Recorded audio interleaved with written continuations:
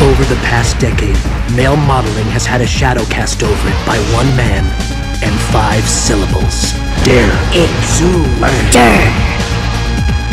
Modeling to me isn't just about being good looking or having a lot of fun and being really, really good looking.